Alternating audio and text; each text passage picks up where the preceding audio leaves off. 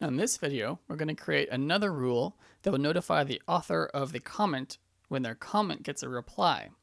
We'll also add a condition that prevents it from sending an email if the user who replied to the comment is also the author of the original comment. We'll do this in the same way. I'll go ahead and log in as the administrator user.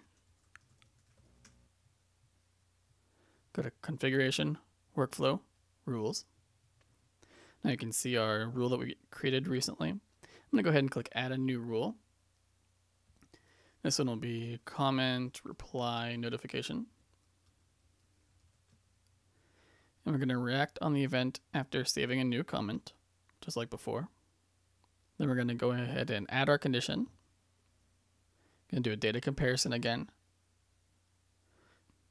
The first data selector will be the comment author equals comment parent author. So this is the parent comment that the current comment is being posted as a reply to. A little confusing, but it makes sense. And then again, negate to make sure that our rule only fires when these are not the same. So go ahead and click Save. Then we'll add our action. Again, it's going to be send mail. The to value, we'll switch to the data selection and choose comment parent author mail because we're going to send this to the email address of the author of the parent comment. Our subject will be reply to, we'll find the title of the parent node. Should be comment parent. And then our message. Be view the complete topic at find our comment URL posted by comment name and the name of the comment author. Title comment title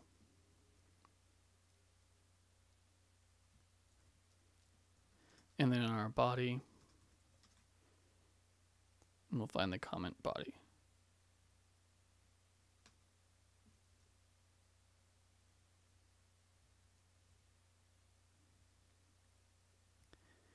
And the from I'm going to leave empty this time, and that'll just use the site-wide configured address.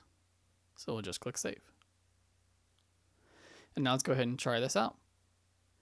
Go ahead and go back to our home page and find our sample article. First thing we're going to do is reply to our own comment.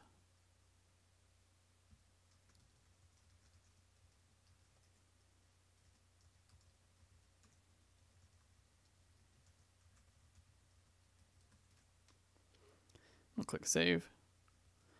And there's no email sent. So that's perfect. Let's log out now and log back in as Chelsea.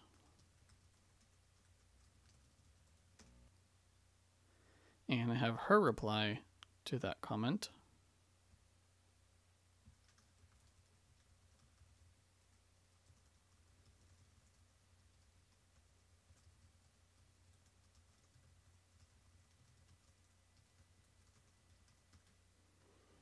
and hit save.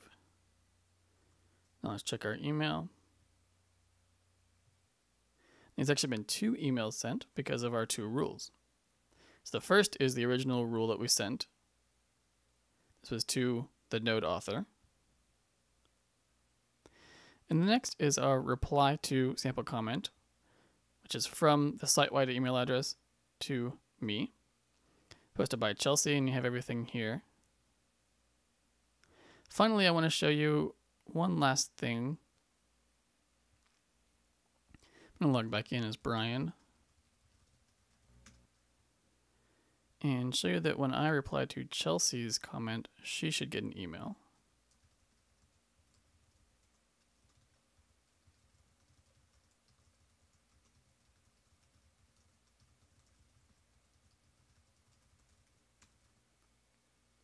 So we'll go ahead and click save.